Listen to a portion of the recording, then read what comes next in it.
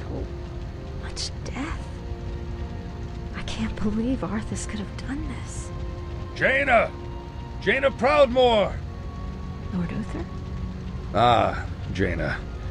I thought I might find you here. Where has he gone, girl? Where has Arthas taken the fleet?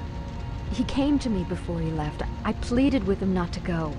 I told him it sounded like a trap. Where Northrend.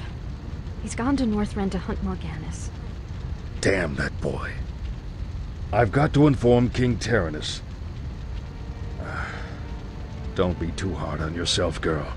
You had nothing to do with this slaughter.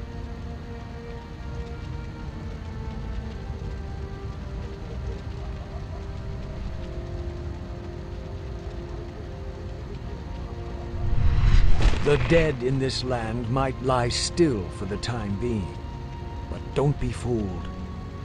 Your young prince will find only death in the cold north. You! Arthas is only doing what he believes is right. Commendable as that may be, his passions will be his undoing. It falls to you now, young sorceress. You must lead your people west to the ancient lands of Kalimdor.